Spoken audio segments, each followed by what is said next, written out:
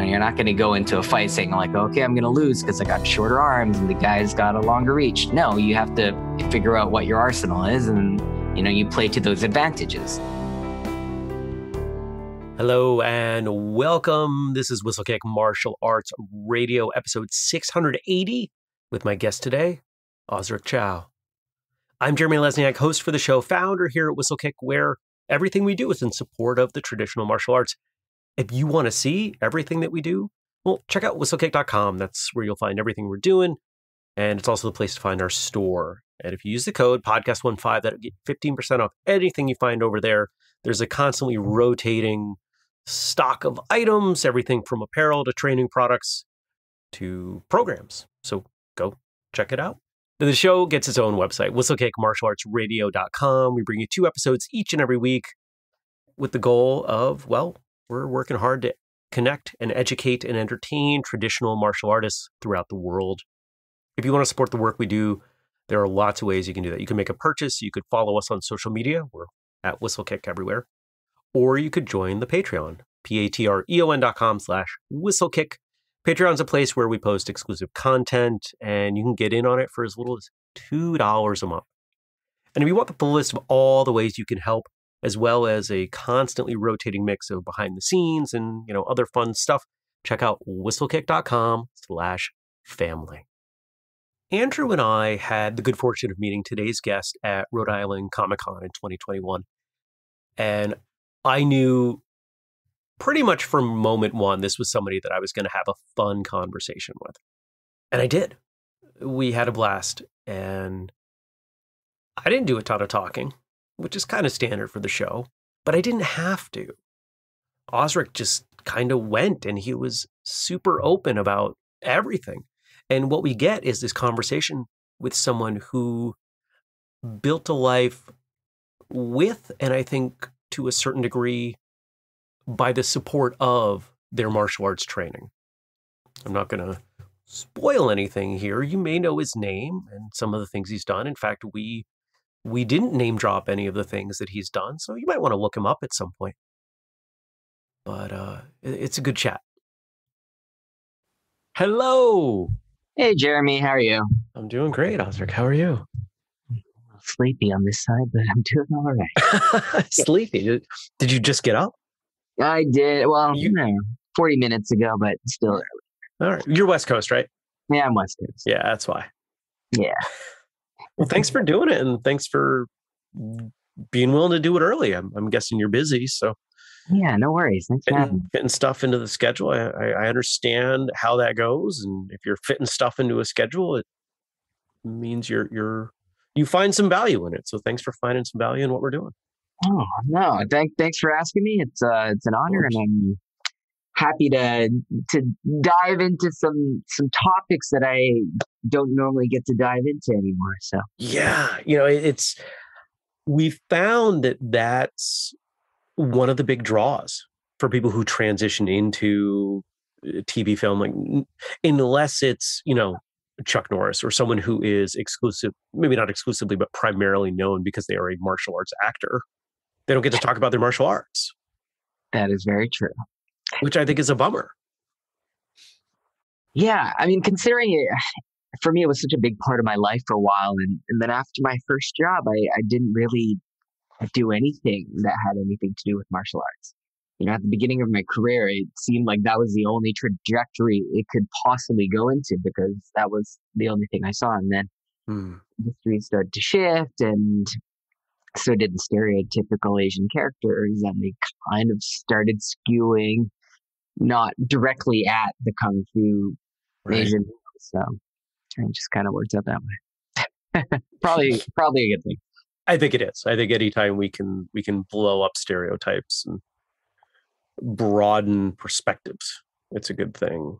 Yeah, I think so too. And that's actually a subject that's come up on the show a number of times with guests of Asian descent that they, they feel like they have so many more opportunities in media now than they did even i mean when was a lot of them identify crazy rich asians as like the turning point i don't know if you see it the same way i mean it, it certainly was the tipping point i think there's a lot of movement happening in the years prior to. Sure. Um, I, I remember like the two years before the movie came out, like before anyone knew it was going to be anything. Like there were there were gatherings of Asian American actors all over LA, uh, and I attended quite a few of them. And you know, we would just kind of call each other out, like, "Hey, why why why do we hate each other? Why don't we support each other? Why are we doing this?" And it was just like very frank and honest conversation about what we had all been doing as a community and how we were kind of cutting each other down. Mm. And um, and so there was a big shift happening already. So when the time Crazy uh, Crazy Rich Asians came out, we are all just ready to support it as a community, and it, you know, like we felt like we could not fail with this one. So Mm. it just changed a lot in a big way. it blew up at the box office. I don't think I don't know if anybody knew it was going to be that big, but it- Uh, I I don't I don't know if you can. Like you, you hope for the best, and sometimes it works out, sometimes it doesn't. Even if the movie's you know amazing, it doesn't always work out. Or even if the movie's terrible, sometimes it works out. Like uh, sure, so many things you plenty of examples of that. yeah. Was it that that that internal dialogue, you know, among that community? Was it fear over competing for limited roles that were mm. so profiled?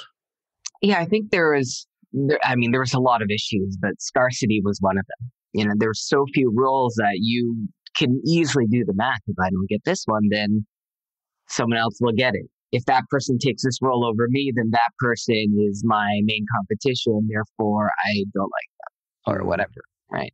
So there were so few roles that you you could track down every single role that you auditioned for and figured out who got it because there were that few. Right? Like I remember I, I had a lot of like Caucasian friends who were actors mm, like in, in the early days of, of LA and man, it's like slam this week. I had like five five auditions today, three yesterday. Like it, it's been like that nonstop. And I'm just thinking like, wow, I'm I'm lucky if I get one a week. Like and like I don't know those problems, so I can't Mm. really empathize with you.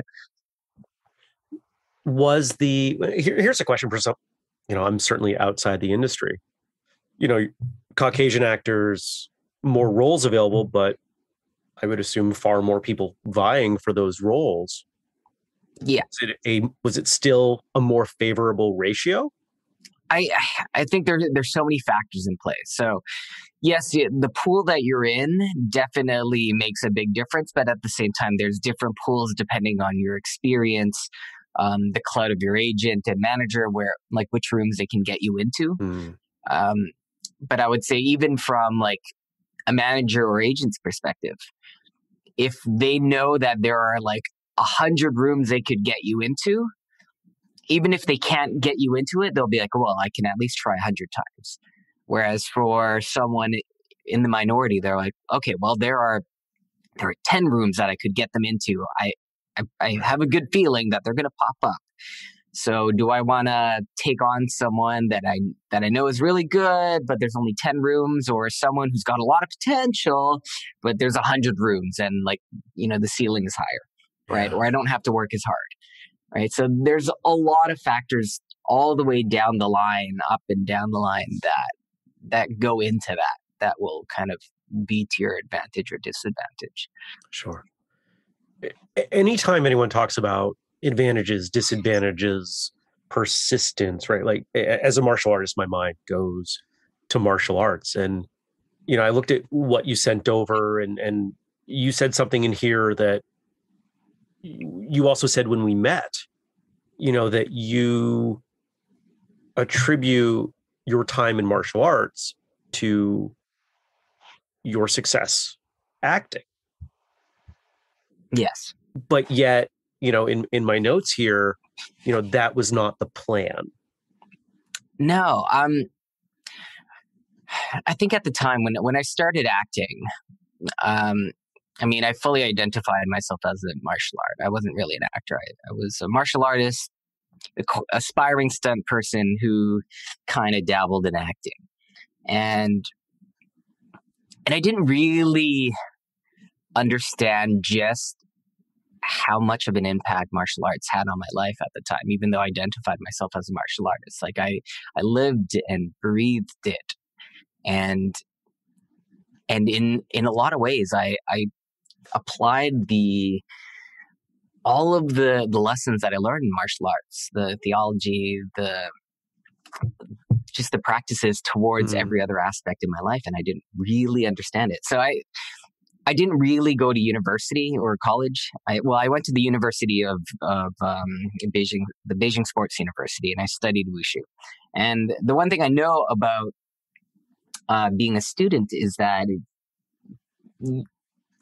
I mean, when I was in high school, I was just learning things to regurgitate onto a test and then forget, right? like most and, of us. Yeah. And what I understood of school was that you're supposed to essentially learn how to learn or at least find something that you enjoy doing so that you will would acquire these things and i never found that in a subject except for martial arts and that was the first subject even though it wasn't really a you know your standard subject it was the first thing that i i sought out right i would go online and like in the early internet days, I would be on these forums. I would look for people who were doing this in my community. I would go to the, the parks and see who was practicing in the morning. Like I was that guy because I wanted to acquire this knowledge that I did not have. And I think having done martial arts for over a decade, I I finally understood what it meant to learn something Mm. right? And so when i finally like looked at acting like oh like i never really gave it much credit. I didn't really understand what acting meant or how hard it could be. And i just started applying all of the things. I'm like oh it's just another skill that i have to do. And you know it, it's such a basic thing but i i only approached it from a martial arts standpoint. And i'm like okay i have to train here so i can get better here right and then in mm. terms of like you know your advantages and disadvantages like you, you're not going to fixate on your disadvantages necessarily as a martial artist. Like okay if you have shorter arms you're not going to you know you're not going to go into a fight saying like okay i'm going to lose because i got shorter arms and the guy's got a longer reach. No you have to figure out what your arsenal is and you know you play to those advantages. So to that aspect i was always a very positive thinker because i'm like okay well if they're there's not that many Asian parts, there's not that many Asian actors, then I will stand out, right? So smaller pool.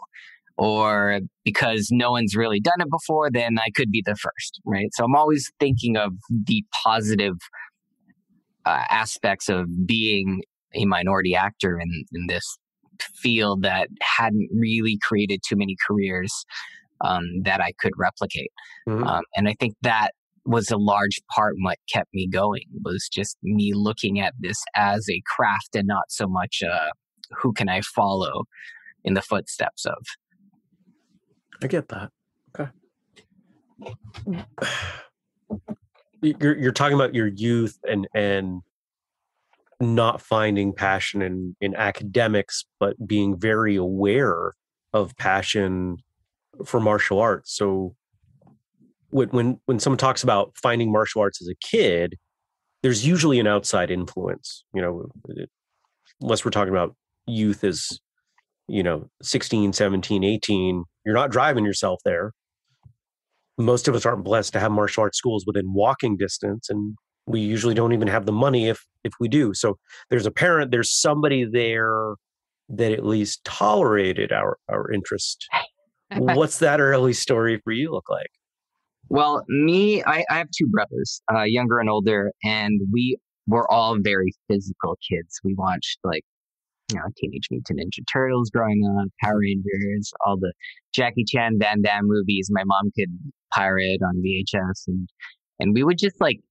fight a lot.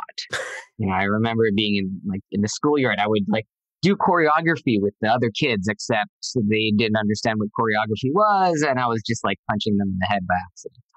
Um, because they didn't know to dodge. Obviously, that's how you're supposed to do it. Don't get hit by my head. um, got suspended for that one. Um, but the my parents actually did not want to put us into any kind of like karate or taekwondo Um, one because it was expensive, and two because they thought it was going to make it worse. They thought we were going to have more excuses to get into fights and and just be more violent. And it wasn't sure. until I think I was I was 13. My brother was a year younger. Um, so me and my younger brother, we were like we kept begging, begging. Finally, my mom found in the Chinese newspaper this this little ad with some Tai Chi teacher that was offering free, free classes. And I remember she like sold it to us. She was like a used car salesman. She sold it to us. She's like, oh yeah, this this is like you know he's like some champion from China. Blah blah blah blah blah. And so we went there, and I was like testing the the teacher. I'm like, oh, okay, like show me what you got. And I, I remember being so cocky. Um, but it's funny, like I, I didn't even know what to look for because I, I knew so little at the time. I just I was just so I know skeptical of my of my mom, I guess, and you know he he did tai chi. You know, it wasn't what I was into, but he and I guess my mom just like kept us there long enough that we finally just started doing things and and sure enough he was a wushu coach he was a champion in his youth and uh, and he came here to teach wushu and there there wasn't really that many schools back then and he was just teaching people at the park and so that summer me and my younger brother we we trained with him twice a day every single day because he just showed up at the park and so we just went and it, it became an, an, an obsession. And I, I didn't even really know what wushu was. I just knew that, you know, we are we were training. It was just the thought that we were training. It was every training montage that I had seen in every movie. And it was, you know, painful. It was stretching. It was conditioning. It was all these things. And then in the, in the meantime, we were doing these forms that I didn't quite understand. I'm like, oh yeah, this is kind of like a Jackie Chan for right. So it was like every movie was in the back of my mind as we were training. Um, but I just knew that I it didn't matter how tired we were or how much pain we were in. We just kept showing up, and then it just became our thing. It became our identity. Like when we got back to school, like we were the wushu kids, right? And then and then at some point we you know, our, our community got a little bit bigger. We finally went to a competition and we saw like, oh, wow, we're very traditional. The, these other kids, they're, they're doing the competition forms. It looks so weird and foreign and it doesn't make any sense. And, and then you start looking at them like, okay, well, it's more of a sport now, less of a, of a, of a fighting you know applications kind of a thing and so you kind of adjust and you know every time you you open up your community uh, you, you, take a another step out into the world you learn something else and it's scary at first and you you hate it and then you're like okay well i guess that's the way of the future and you can either reject it or you can accept it and and find your way in it. And we did that so many times as we got into the Vancouver martial arts community and then the Canadian uh, wushu community. And then at some point we went to China to train to see like, okay, like if, if, if Beijing, China, if that's where like the hub of wushu is, like I want to, I want to see what the best in the world are doing.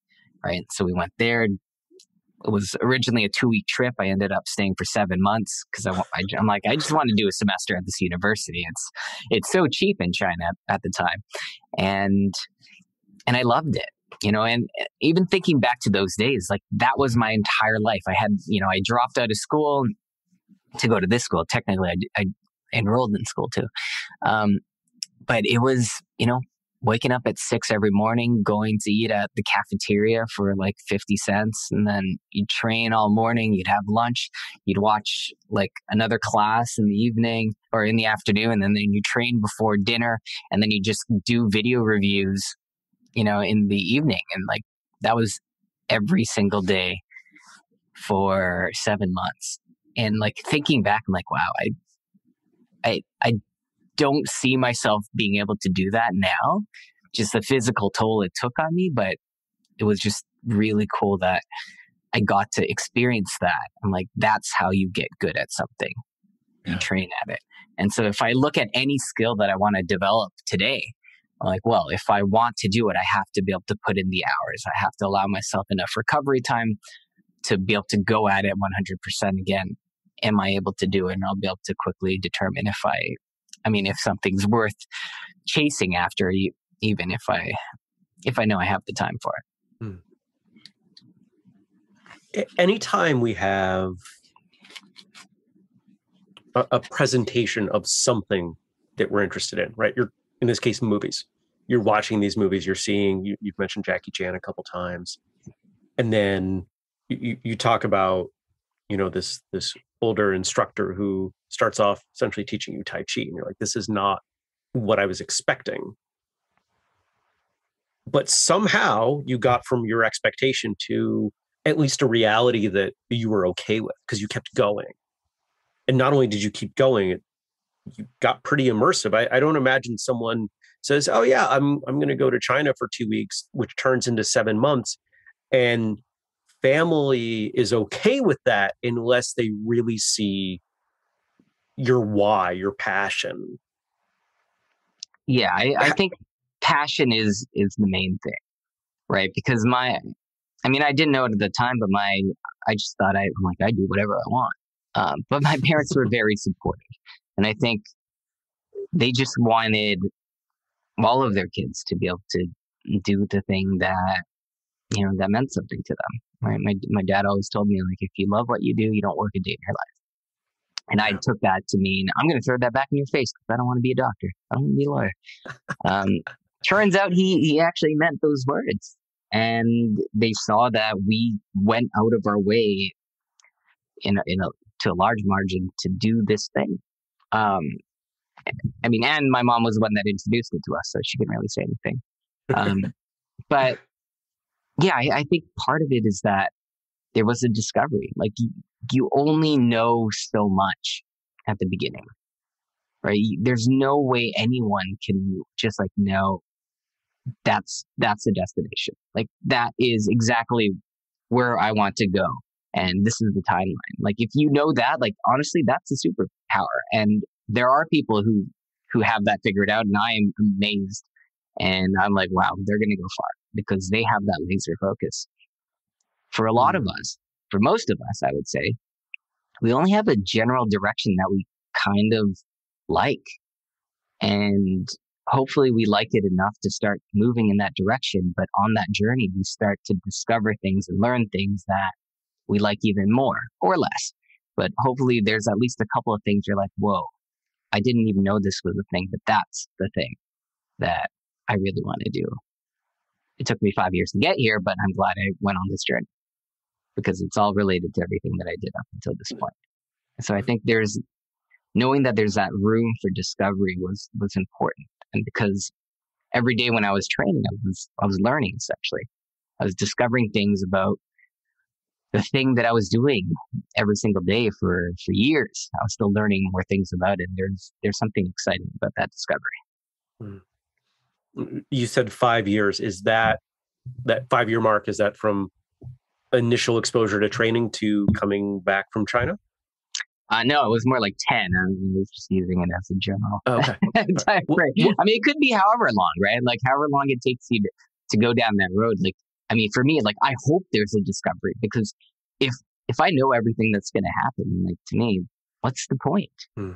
Right? Like, I want there to be an aspect of unknown. Like, I, I need there to be something for me to discover because I, like, if I were to break down my life in terms of purpose and what what I want. Like I, I want to learn things.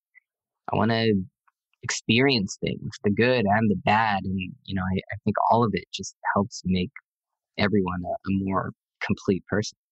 Sure. What was it like coming back from China? Most of us have no idea what it's like to make martial arts your academic pursuit or your job such that you're doing it that many hours a day. It must have been eye opening. Uh, it must have left you a different person. Absolutely. Um, so when I came back, well, uh, there, there's quite a bit. I've, I've come back from China, I would say two times, like two big times that like completely changed my life. So the first time I came back was after training, and almost immediately I went to the national team trials for Wushu. So I made the Canadian national team, and then I got like this buggy knee and I had to get it checked out. And I remember the the physiotherapist, who just like looked at my knees like I I don't even know like I don't even need to know what you're doing. If you want a future with your knee, you're gonna stop. And he started laughing. I'm like, okay, I guess I should stop training for a while. Hmm. And um and he took like six months off.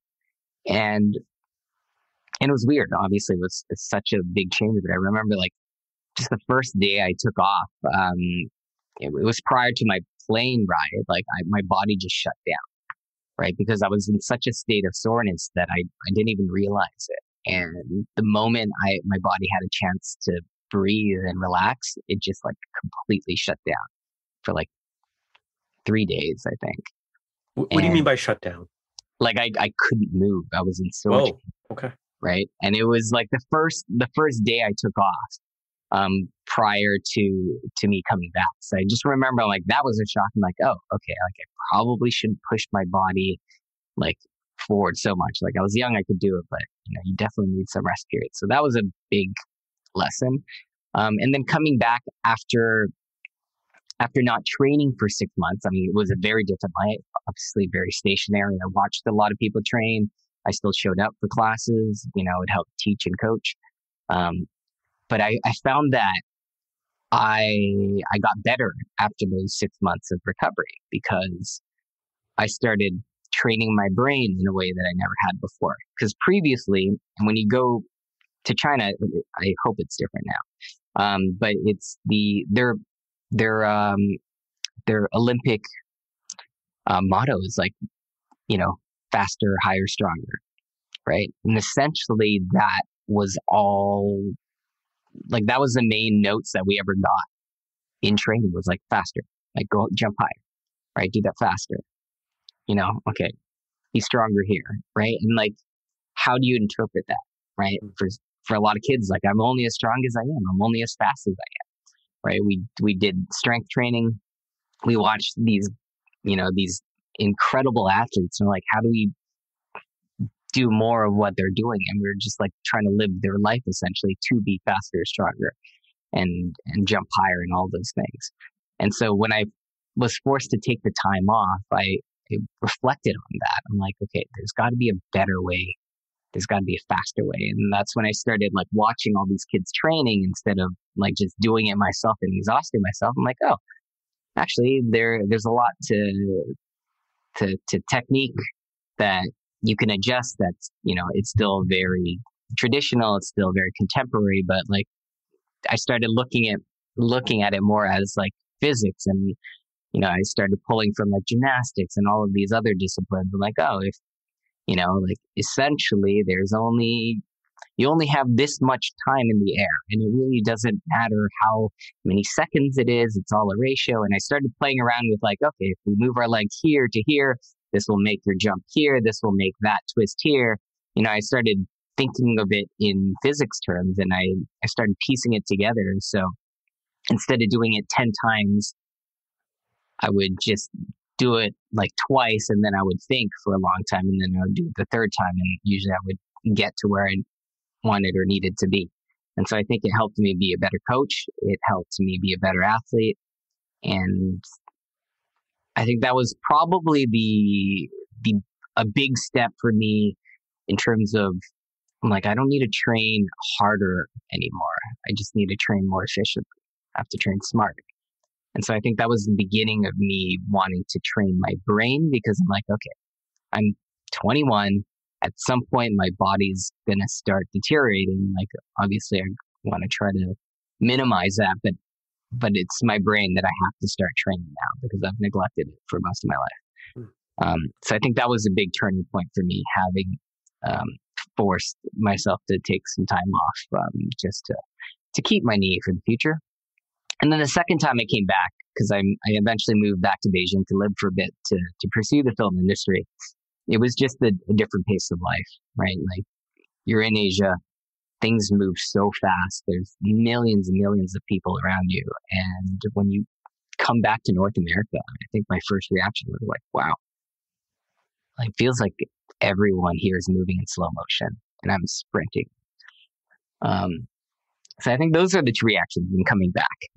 And certainly helped shape my life and the way I live it now. Mm. I've caught bits about the approach that China takes to Olympic development, the intensity. You, have hinted at some of that. Um, my understanding is is that athletes are selected far earlier there than we're familiar with in most Western countries. Oh, absolutely. And the intensity that that you're describing, even even in words, even this slogan, faster, stronger, higher. As you started to consider alternate approaches, you know, being thoughtful and introspective and some self analysis, was that something you were doing at that time? Or did that have to wait until you came back to Canada? I think I think a lot of it happened while I was unable to train. Okay. Right. Again, I think training your mind, like when I was a kid, I I just didn't really think of it, but like that was the main thing. Like I I trained Wing Chun for like eight years and I didn't realize it, but like the whole time, like I'm not. I'm like I'm. I'm not the type of person to get into a fist fight. Well, I'm not anymore. Maybe when I was a kid, but like I'm never. If I do it right, I'm never gonna need this, right? And so the whole time you're thinking, you're just thinking, right? And yeah and I think like that was the biggest thing, right? Like in China, I I was thinking of like faster, higher, stronger. I'm like, okay, I just gotta be faster. Like, and I was training beside a lot of the kids in the Olympic program for other sports as well. And I, you know, their selection is, well, you have like over a billion people here, and if you're gonna select, you know, the ones with the genetic advantage as early as like five years old, sometimes maybe even younger, you put them all in a program if they want, if their parents allow it.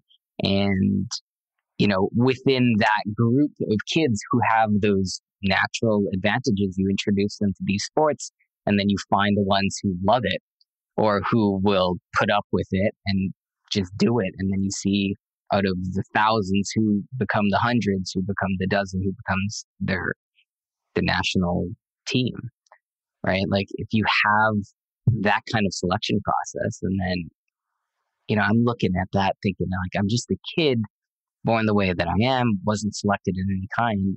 Felt like, you know, this thing chose me to some degree.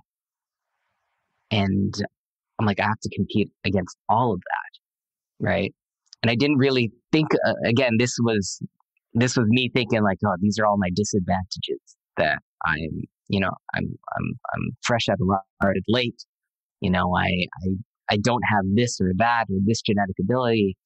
You know, so you know, it sucks for me, right? And then when I got back and I was in recovery, I started thinking like, okay, this is where I this is where I have an advantage I can do this. Like my brother was taller than me. Like, okay, like I can't compete against my brother who's taller than me in this aspect, but because I'm shorter, I can do this thing a little bit better right? And you start finding the thing that makes you you, right? Finding the thing that gives you an edge. And you start, you know, sharpening that axe and you go in that direction. We've had quite a few guests on over the years who had some kind of roadblock to the path that they were on. Yours is your knee. And in every case, they've described that experience, that either stopping point, deviation, whatever, forced. I don't know that they would use this word, but I'm going to epiphany around who they are or what they were doing or where they wanted to go. And it almost sounds like that's what you're describing that had you not had the challenge with your knee, you may not have developed this other, uh, I'm going to call it more insightful approach to training and physicality. Yeah, I, I mean, I think for me, I, uh, I learned fairly early that I, I just can't have definitive goals like specific plans to like to to some degree anyways like you want specific goals and plans but i guess like the the grand scope the grand master plan. Like I just never had that because things keep changing and I keep learning things that drastically affect it. And so like, you know, I do look at my life as a, as a journey and I'm, I'm on this journey. And as I learn things, like I'll see that, you know, the destination is going to change it slightly. And, and so, you know, I, I've been through a lot of these big epiphany moments and if I were to attribute any success to myself, it's my ability to to adapt and change and, and be versatile. Right. And I mean, I, I think as humans, that's what we know how to do. Right. If you get cold, you put on a jacket. If it gets hot, you take it off. Right. But there's this idea that, like, oh, I, I don't, it, it's the unknown. I don't know how to deal with it. But to some degree, you don't know until you, you get there and then you'll figure it out right? And I, I think I put a lot of emphasis on myself that I will be able to figure it out. So I'll always step out into that scary unknown zone and and wherever it it leads me, I'm generally okay with it. And I just kind of roll with it, even if it's drastically different than what I set out to do, because I would have learned something that made it make sense for me in the grand scheme of things. And so I, I try not to have any master plan that I would be so devastated if I didn't actualize it. Right. Like I have a, a big general goal that I want to do, but there's so many ways of, of attacking it that it doesn't matter how I do it. Right. The way that it happens doesn't really matter. So I have values that I, that I want to aspire to keep. I have I have challenges and goals that I do want to achieve and succeed in, but yeah, how it happens, it, I don't exactly know. Okay. And I'll, I'll probably discover that as I, I go still. Willing to share any of at least the kind of the directions of those goals? Yeah. I mean, uh, one of my first big goals coming into the end, like when I'm like, oh, okay, I, I want to be an actor. This is the thing I want to do. Um, is that I, I wanted to push for Asian representation, and that that's mm-hmm. something that I've been doing for for a while now. Um, and at first it was weird because again we, we were fighting each other, and we would see other Asian actors as competition, and you know, like I I struggled with myself there because I'm like, well, how am I pushing for representation if I want more people to do this, but I also want less people to do it because it would be easier for me to do that first thing. Um, and it was like a weird, a weird thing there until like we finally came to, I don't know, just this agreement. Like, okay, if we, we're just all good and we create more things for ourselves, like then there's room for everyone. Right. And then at some point I just started supporting everyone, even those that I'm like, okay, well, I, if if they do well and they get this, I I won't get it. You know, there came a time where I just I, I'm like, you know what, I'm okay with that. And and then I realized like, oh, well, we're you know, now that I'm spending so much time with these guys, like when they're like my best friends, like we're so different that it doesn't make sense for anyone to to take them over me. It's they're just a better fit for this thing. Right. So like even within my own community, I got to know them well enough to know how different we really are and that we aren't, you know, we aren't all the same, even if we are on paper exactly the same. We're just so vastly different how we talk, our mannerisms, you know, the types of people, the vibe we give off. It's so different. Um, so it started mattering less and less whether I, I got the job or not. And then I started doing behind the camera things like producing, writing, directing. And I'm like, oh, I actually really enjoy this. Right. So I'm like, I can attain that same goal behind the camera. And so for me, you know, I'm like, wow, I thought I was going to do it acting.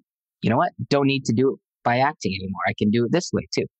And now I'm going into the food industry in, in Vancouver and I'm like, oh, actually there's, you know, having learned the food space now, like there's a lot of things that I can change here in terms of the way people look at certain cuisines and how that's accepted in this city. And we can change, you know, the culture in this city by ways of opening certain establishments and, and marketing in a certain way.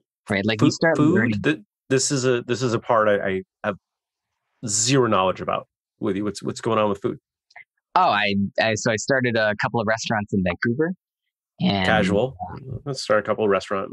I, I. I've worked in a kitchen. I know how exhausting just that aspect of the business is. It- nobody opens a restaurant, at least not successfully, on a whim. I mean, this is a big deal, and Yeah, it- multiple. Like, where did this come from? it's been crazy and and the pandemic was like the most insane timing but my favorite restaurant in the world is a restaurant called Do Chay in Vancouver. It's a vegetarian Vietnamese restaurant, and as a vegetarian for like ten years, it, w- it was always hard to find a restaurant that I would recommend or take people to that I liked. Yeah. But this was the first place that I just got so excited to bring anyone and everyone, including especially my carnivorous friends, because we would have a meal and then at the end, I would, I, I would just be watching them like, did, did you notice that there wasn't meat here? And they're like, what? You know, and they just didn't know. And it wasn't because they had all these meat substitutes or whatever. It's just because it's just a very good meal Yeah. that didn't happen to have any meat in it. And like people don't really realize that for, for a lot of the time. And, and that's how the chef kind of like he created it because he's like, look, I, I think most most vegetarian places they're thinking like, oh, here's a meat dish, and this is how I create that meat dish with vegetables. And he's like, well, like he's like, I'm Vietnamese, and you know, if I like look back into my history, a lot of these dishes were all plant based already, and people just kind of forgot it. So I just took these recipes, like the plants are the star of the show for most Mhm. Vietnamese dishes, regardless, and you know, the the meat's just kind of there. And, and he's like, so I just like went back, found the dishes that I like, put the vegetables up front again, and I just like, you know, seasoned it and prepared it in a way that made people think that it should have meat in it. The flavors are there, the texture's there. It, it's not a meat dish at all. It's not pretending to be a meat dish, but it kind of gives you the memories and the flavors of it because that's what's in our history. And he just kind of built these plant based dishes from the ground up. And and it it it is again by far my favorite restaurant in the world.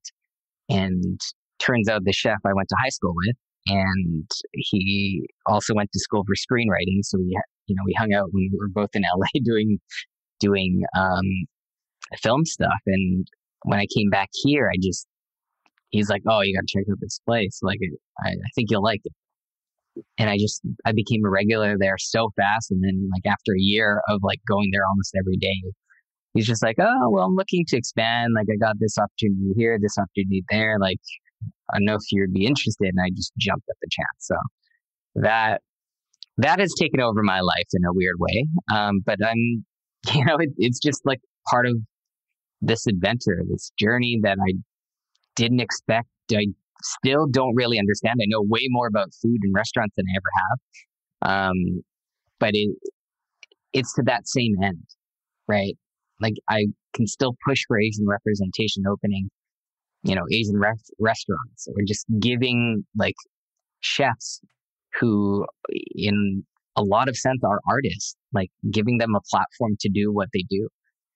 That's kind of the same end for me, Mm. just a just a different medium. if someone was to well how about you? If you were to describe you in these varied interests that i i can see ways that they thread together personality wise um, there's a lot of creativity. But if you were to find a way to describe all of these things that you are passionate about how would you term it? The thing that I like most about all of the things that I've ever done was it, it always comes back to community. Hmm. Right? If you're if you're doing the thing that you enjoy and it, it's supported by a group of people that you enjoy doing it with, like honestly, nothing else really matters, right? Like for film, I love that collaboration. And you're not always going to get a good group, but like just the possibility of having like that amazing group together where you have that chance to make magic is like that's what I'm in it for. Like with my martial arts group, like I love the people I trained with. Like we were best friends. We hung out every every single day, all day, every day. Right? We just that was our thing. Right? And and then with the restaurant group, it's the same thing. Like we're all we're best friends. You know, and if you're not, you're doing it wrong because you're spending a lot of time together. Yeah. Um, so it's just that collaboration of like, okay, like I bring this aspect, you bring that aspect, and our powers combined, it becomes a greater thing. right. And it's being able to navigate all of the different, like, there's so many like pieces and you have to navigate all the egos all the politics and and if you can get through all of that red tape then again you have a chance of creating something greater than the sum of its parts and it's it's so cool when when you succeed at that and you know like having done both film and restaurants, I understand why the vast majority of them fail. Um, but at the same time, like I, I like the challenge. I like the unknown, and I I like being able to figure things out. And I, I mean, to some degree, I I just have this weird determination to to like just want to bet on myself that I can figure it out. Where did you get that from? I don't know. Maybe I think maybe my mom something just yeah, like did, stubborn did she and instill that in you? Like you you can do this, you can figure this out. I, I know. I think it, it's just like being super stubborn. Like if someone tells me I can't do something, like I'm like I I have to Oh. I have to prove them wrong. Right? Like for me motivation like comes in that form of spite, I guess. I'm like I if someone like the reason why I'm vegetarian is because someone didn't think I could do it. that was it. they they didn't think I could do it, and then I just I'm like, all right, I'll just do it till the end of production, which was like a three month period, and I did it. I'm like, oh, that wasn't so bad. I'll just keep it going, and then and like it wasn't even like that thoughtful of a of a move. It just changed my entire lifestyle because someone doubted me. That was it. Mm. it's kind of weird if I think about it, but I, I I wonder if any of it comes for you from the same place. It comes for me. We're both smaller people. Yeah. There there's a little bit of a, a yeah, I'm sure we have a chip on our shoulder or something. shit. Yeah, yeah. Right. uh, because people, I mean, you know, I, I think I, I, especially like being an actor, like when I started as an actor, every, like, no one took me seriously. Everyone thought that it was like, they're like, that doesn't exist for Asian men. Why, why would you even try? Right. And like, what were you trying to do that didn't exist? there were, like, when I started acting, there were no careers for Asian men as actors. Okay. Like there, like again, you can think Jackie Chan, Jet Li, you can think of the action stars, but like no one in my immediate circle, my social circle. No one I met knew of any like could name, you know, one, let alone five Asian male actors that had careers as an actor. Right? No one. Every single one of my family members, like, well, I, guess you got to move to Asia where the Asian roles are, which is why I moved to China uh, and you know to some degree like i moved back because i'm like what am i doing here i i yes i am chinese but i don't fit in china. Like it's a very different culture. My values are very different. The type of person that i am is very different. We consume very different media and the type of person that i want to be is not this. And so like moving back it was like i mean moving there i, I learned that i it is my heritage but it is not who i am. And so I, I think a big part of my motivation is like, well, I, I just have to prove people wrong. Like, and I and I tell people this all the time, especially now that I'm like pitching stories and and and projects and stuff. Like people will tell, like a lot of networks or executives will be like, well, historically speaking, like that hasn't done very well. Know, like in our studio, that hasn't very done very well. Having this type of person lead that type of movie, and I keep saying like, look, I'm not, interested in repeating history. I I want to be someone that makes history. Like that's it. Mm-hmm. Like I I can go into all the numerous reasons why those didn't work out, and I think a lot of it is because you only have two examples, and you really didn't put much money or effort into it because you kind of wrote it off as soon as you jumped on it. But like, there's probably other reasons than this person. Like, it's it's a girl action movie. Like, girls can lead action movies if you do it right. The same way that guys can lead action movies if you do it right. Right. When when you look back, whenever that's going to be, you know, you, you made a pretty bold statement there. You want to make history. You don't want to repeat it. What does making history look like? Uh, I mean, for me, it just means I'm I'm not afraid to be the first. Okay. Right? That's all it means. It doesn't mean that I'm I'm going to go out of my way to like be the one to do all of these things. Like I, no, it doesn't matter. I could I could follow history too. But if my path is taking me somewhere that I'm like, "Oh, I have to do this thing."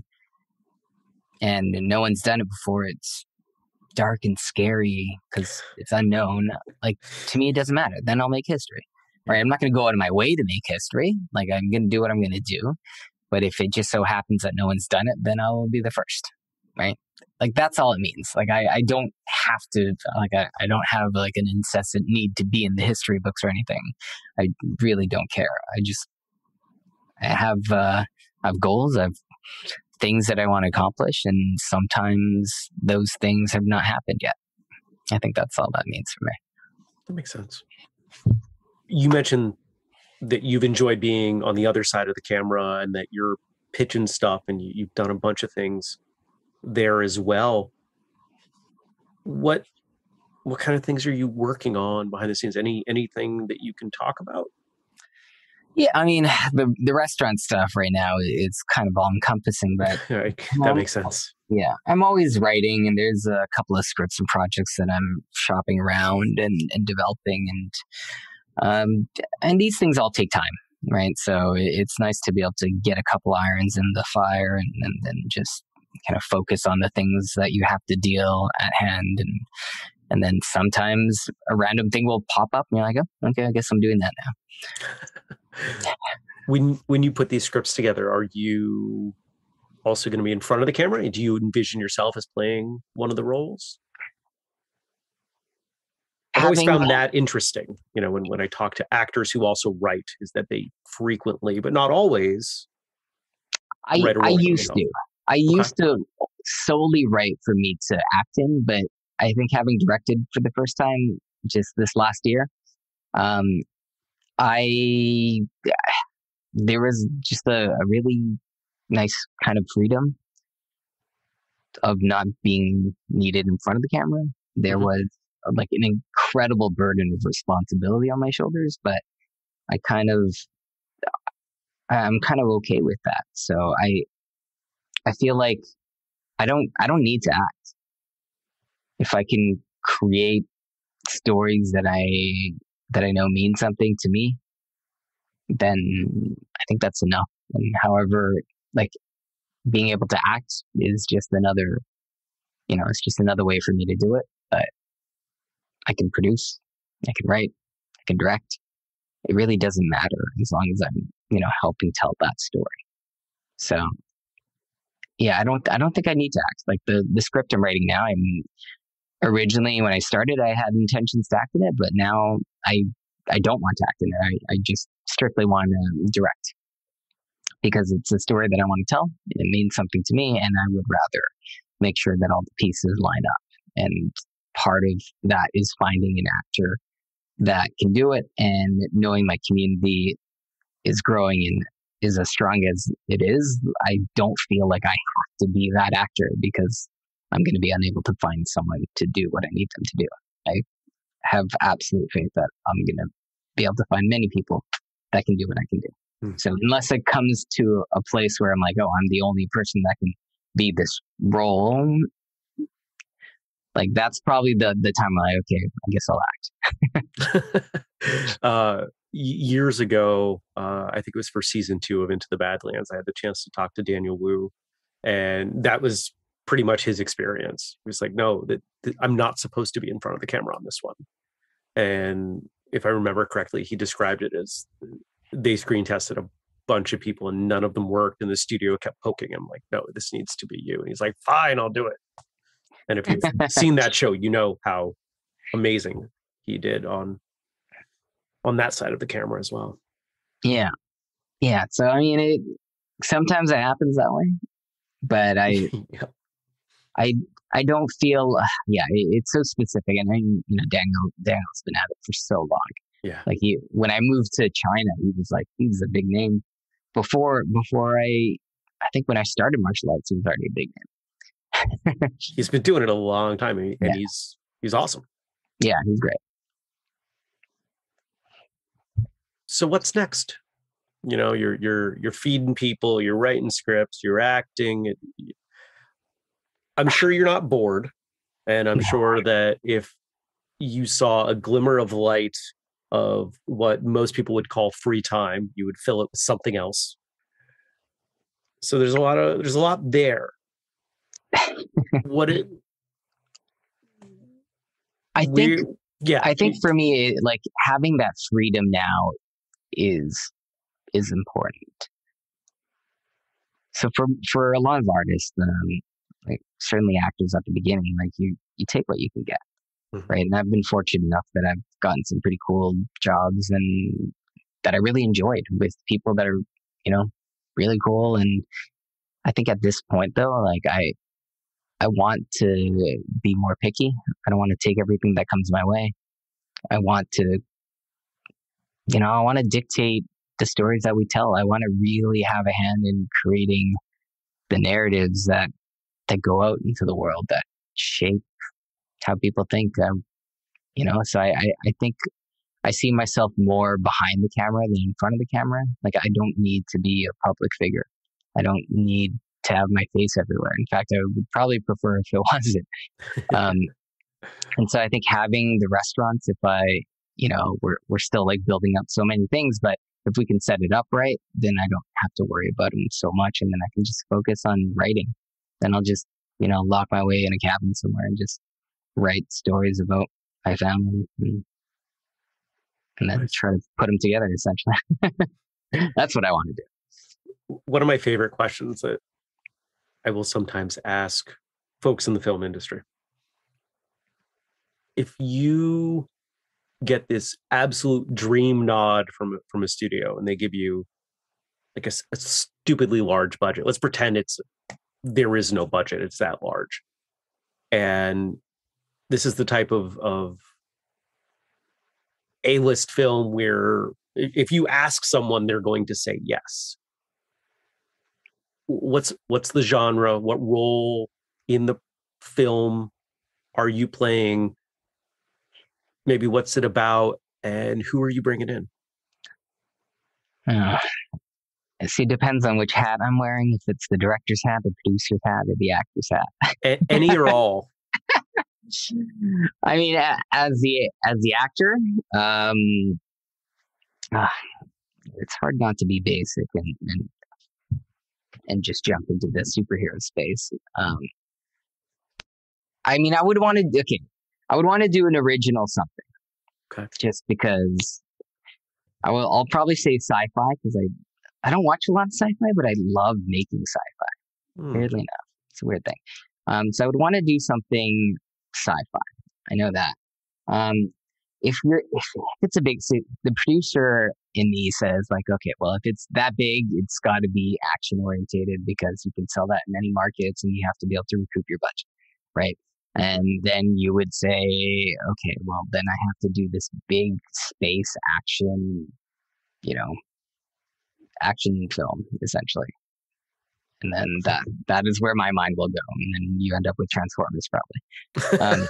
Um, or like the director in me says, like, okay, well, I, I, I wanted like, I just want to do a movie for my parents. I want to do something that honors them, that kind of picks apart our relationship, our very complicated and and dynamic relationship and and that is probably a, a five to ten million dollar movie at most and so i guess we'll put it in space and then it'll be a hundred million dollars. I don't know. Yeah uh yeah that's that's a tricky one. That's a tricky one. That's a good question. What, what about what about other actors? Is there anybody that you hope you get to work with in some capacity? Uh, yeah, I mean, there there's an innumerable number of actors that I would love to work with, but I I think for me, have having jumped in behind the scenes, like now for me, it's so dependent on the story. It is so dependent on the project, right? I, I don't want to work with someone just for the sake of working with them. Like it's got to make sense. Like I don't want to act in a project just for the sake of it. If if I don't fit in mm-hmm. to that character or whatever, it doesn't make any sense, and I don't want to be there. And part of that is, you know, for an actor to find your own space within it, but it doesn't always make sense. And so, makes sense, it makes sense. And it, it I think part of the fun of doing these projects that you get to do is that, oh, it makes sense for all of you to be together on this project. Right. And, and there's, yeah, and that's a weird science in itself. But there's, there's a, there's a joy in being chosen. Like, oh, you're acknowledged. You're acknowledged to be part of this group. So there's a lot of outside gratification coming in that makes me want to be on the other side of the camera too. I guess. Okay. Nice. Well, this this has been awesome. We'll we'll wind down here. If people want to get a hold of you, social media, anything like that, you can share. Uh, yeah, at Osric Chau, I haven't been very active. Building restaurants is like an insane process and not the most glamorous. So it's, it's not even like, oh, I want to take pictures of rubble to share. Um, but yeah, rubble. yeah. I don't know. Like sometimes, you know, when you're building it up, it's like, okay, we got to build the foundation. Like, yeah. Now we're pouring concrete. Now we're like putting tables together. D- d- you know what? if I may, don't yeah. underestimate people's interest in and the behind the scenes and the build up. Fair enough. Fair enough.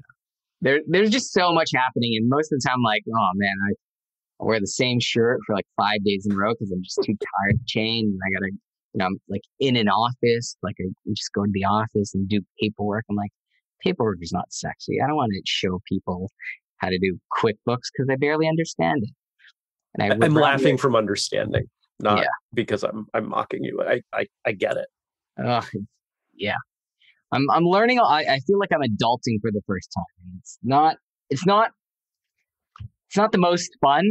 Like I, I appreciate what it's doing for me as a person, but like I also hate it we all wanted as a, as a kid. We're like, oh, I can't wait to grow up, and then we grow up and we're like, yeah. oh man, I just want to take a nap and have someone give me snacks. Oh, I would love that again. Isn't it? Yeah, just yeah, that would be the best. Appreciate my mom for that. That's my life at home if I lived there. Nice. Final words for the folks listening. What do you want to leave them with? Ah, I know. I'm I'm just tired now. It's like seven a.m. no, like thank thank you for thank you for listening. Thank you for um giving me a voice and and and I appreciate all of you. Hmm, very simple. There's a pretty good chance that you had a similar reaction to mine in my conversation with Osric. This is someone who I don't think accepts boundaries,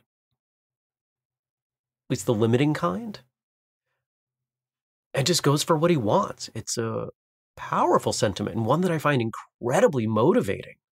We've talked to absolutely wonderful people on this show, and we continue to do so, and I don't expect that to change anytime soon. What I found different here, though, was the breadth of things that he's involved in simultaneously. And that's something that we don't get too often. And it's something that I can appreciate because I, I think it's a way that I might describe myself. Lots of different stuff going at the same time. I hope that you will check him out in all the various places you might. We still haven't talked about the things that he's done. And I kind of want you to go look stuff up if you don't know him by name, because I think you'll be impressed. I, I certainly am. Osric, thanks for coming on the show. Really had a good time. Really appreciate your generosity with your time and your openness with saying all the great stuff you said.